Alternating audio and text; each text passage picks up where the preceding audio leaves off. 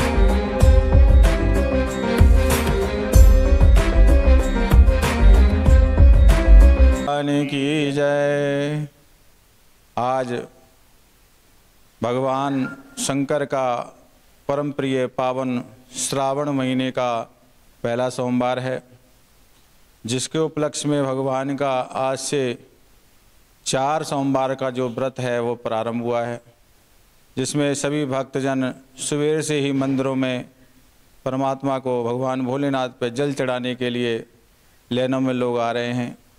बहुत भक्ति भाव से ये भगवान शिव के सोमवार का व्रत रखा जाता है सभी भक्तगण गणों को और सभी नगरवासियों को मैं भगवान भोलेनाथ के सावन के महीने की बहुत बहुत शुभकामनाएं देता हूँ बधाइयाँ देता हूँ बोलिए शंकर भगवान की जय ਬੋਲੀਏ ਸ਼ੰਕਰ ਭਗਵਾਨ ਕੀ ਅੱਜ ਬੜੀ ਖੁਸ਼ੀ ਦੀ ਗੱਲ ਹੈ ਕਿ ਸਾਵਨ ਮਹੀਨੇ ਦਾ ਪਹਿਲਾ ਸੋਮਵਾਰ ਹੈ ਤੇ ਮੰਦਰਾਂ ਦੇ ਵਿੱਚ ਭੋਲੇਨਾਥ ਦੀ ਆਰਾਧਨਾ ਕਰਨ ਦੇ ਲਈ ਜਲ ਚੜਾਉਣ ਲਈ ਲੋਕ ਕਤਾਰਾਂ ਦੇ ਵਿੱਚ ਆ ਕੇ ਜਲ ਚੜਾ ਰਹੇ ਨੇ ਤੇ ਸਾਵਨ ਮਹੀਨਾ ਨੂੰ ਪਵਿੱਤਰ ਮਹੀਨਾ ਮੰਨਿਆ ਗਿਆ ਹੈ, ਜਿਸ ਵੀ ਕਿਸੇ ਦੀ ਜਿਹੜੀ ਮਨੋਕਾਮਨਾ ਹੈ, ਉਹ ਇਸ ਮਹੀਨੇ ਦੇ ਵਿੱਚ ਪੂਰਨ ਹੁੰਦੀ ਹੈ। ਇਸੇ ਲੜੀ ਦੇ ਵਿੱਚ ਅੱਜ ਸ਼ਿਵ ਮੰਦਿਰ ਇਸਤਰੀ ਸਭਾ ਦੇ ਵਿੱਚ ਸ਼ਿਵ ਮਹਾਪੁਰਾਣ ਦਾ ਜਿਹੜਾ ਦਾ ਜਿਹੜਾ ਪਾਠ ਹੈ, ਉਹ ਸ਼ੁਰੂ ਕੀਤਾ ਗਿਆ ਹੈ। ਸਵੇਰੇ 7 ਵਜੇ ਤੋਂ ਲੈ ਕੇ 8 ਵਜੇ ਤੱਕ ਸ਼ਿਵ ਮਹਾਪੁਰਾਣ ਦਾ ਪਾਠ ਕੀਤਾ ਜਾਂਦਾ ਹੈ। ਤੇ ਸਾਰੇ ਸ਼ਿਵ ਭਗਤਾਂ ਨੂੰ ਬੇਨਤੀ ਹੈ ਕਿ ਇਸ ਪਾਠ ਦੇ ਵਿੱਚ ਆਪਣੀ ਹਾਜ਼ਰੀ ਲਵਾਓ ਤੇ ਆਪਣੇ ਜੀਵਨ ਨੂੰ ਸਫਲ ਬਣਾਓ। ਬੋਲੀਏ ਸ਼ੰਕਰ ਭਗਵਾਨ ਕੀ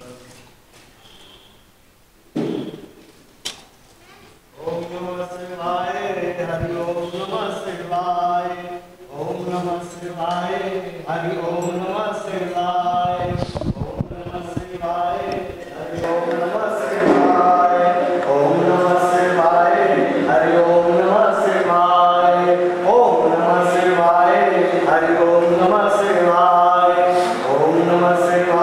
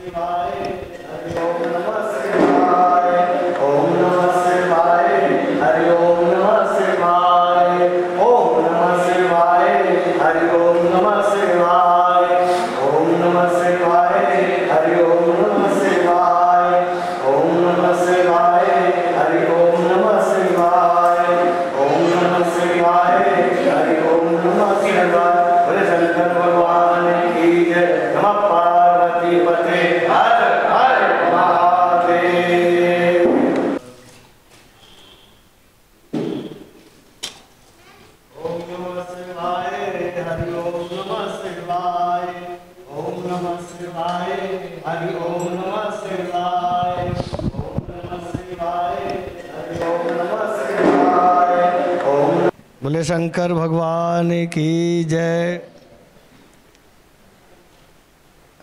आज श्रावण का पहला सोमवार। भक्त श्रद्धालुओं की भीड़ मंदिर में बहुत से ही रस है। और इस महीने में चार सोमवार हैं। चारों सोमवारों में भक्तजन व्रत रखते हैं, भगवान शिव की आराधना करते हैं। रुद्राभिषेक करते हैं, पूजन करते हैं, व्रत रखते हैं। और इन चारों व्रतों का फल बहुत ही मायने रखता है। मायने क्या? कि साल की उपासना एक तरफ़ और ये चार सोमवार एक तरफ़। साल की पाठ पूजा में जो फल मिलता है, उससे कहीं अधिक श्रावण के सोमवार में। क्योंकि ये चतुर्मास व्रत प्रारंभ हो जाता है। चार महीने शिव जी जो है, शिव सैनोत्सव भी कहते हैं एकादशी को। जो अभी एकादशी निकल के गई है तो उसको शिव सैनोत्सव कहते हैं। तो चार महीने के लिए हमारे देव भी सो जाते हैं। इन चार महीनों में हमारे सनातन धर्म, हिंदू धर्म ग्रंथों के अनुसार कोई भी शुभ कार्य नहीं किया जाता है। जैसे मकान बनाना, शादी करना, या कोई नई चीज़ खरीदना, ये सब वर्जित होती हैं। इस करके सावन के महीने का जो फल है, जो महत्व है, सबसे श्रेष्ठ है। और जो भगवान शिव जी की शरण में आकर के इन व्रतों को रखता है, उनकी पूजा करता है, उसको करोड़ों करोड़ों यज्ञों का फल मिलता है। बोलिए, शंकर भगवान की जय। सरहद से कैमरामैन आकाशदीप के संग चंदन नागपाल की विशेष रिपोर्ट।